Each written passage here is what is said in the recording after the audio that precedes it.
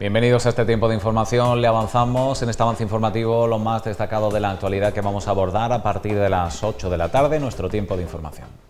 Representantes del Comité de Empresa del Ayuntamiento abordan la negociación de la oferta de empleo público para el próximo año 2021. Arranca el curso escolar en infantil y primaria en los centros educativos de San Roque. Reunión para promover la construcción de viviendas sociales en nuestro término municipal. El vicesecretario general del PSOE, Juan Carlos Ruiz Bois, critica la falta de previsión de la Junta en el inicio del curso escolar. Continúa el plan de desinfección para frenar la COVID-19. Deportes comunica a los clubes del municipio el protocolo de uso de instalaciones deportivas anti-COVID-19. El Club Deportivo San Roque comienza los entrenamientos de pretemporada. Hasta aquí el repaso de la actualidad, ya lo saben, a las 8 de la tarde tienen una cita con la información de nuestro municipio.